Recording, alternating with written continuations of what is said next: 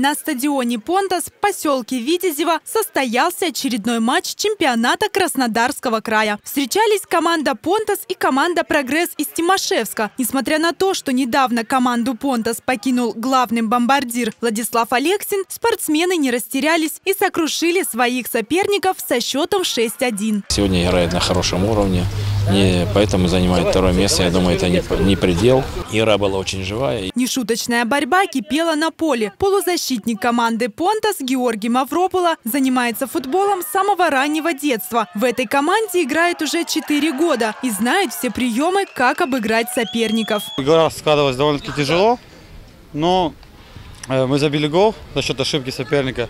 Потом стало уже легче играть, как бы игра уже была под контролем, они атаковали, мы играли на контратаках. Жестко, ну, как сказать, наверное, наверное, да. Без этого никак, это футбол, это мужская игра, и поэтому приходится играть жестко. Капитан команды противоположной стороны признается, команда «Понтас» всегда нацелена на победу и идет с боевым настроем. Играла одна команда, вторая просто присутствовала на поле. Много говорить нечего.